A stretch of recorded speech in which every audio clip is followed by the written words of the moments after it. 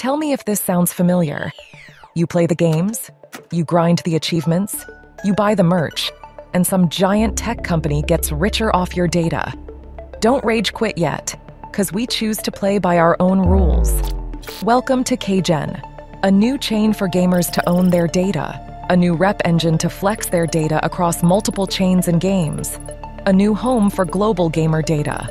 At the heart of it lies the revolutionary Proof of Gamer Engine, a reputation system propelled by zero knowledge machine learning.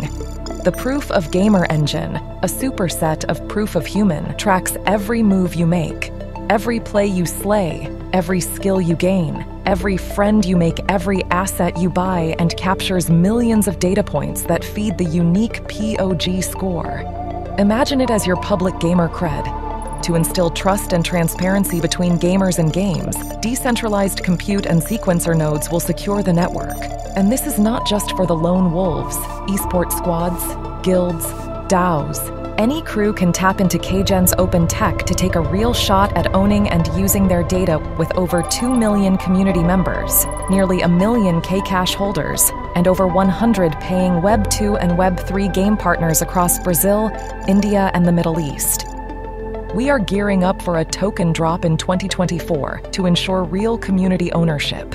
We believe this is the era of the gamer. Owned by gamers.